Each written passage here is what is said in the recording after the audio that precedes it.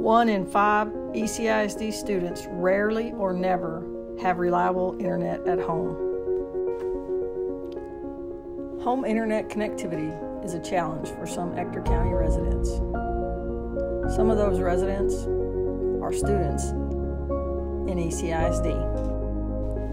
ECISD wanted to understand the problem and the barriers to broadband in cost of broadband is prohibitive to some of our poorest families. Many Ector County residents desire more choice in broadband service and varied pricing options.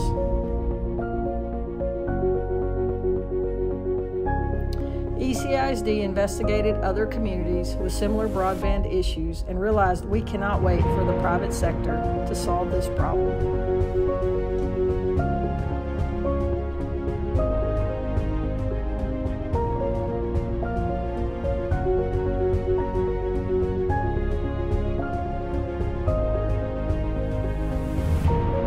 The ConnEctor Task Force is being formed to weigh the broadband options for Ector County and to set us on a path forward to lead the way in getting all our residents affordable and reliable internet connectivity.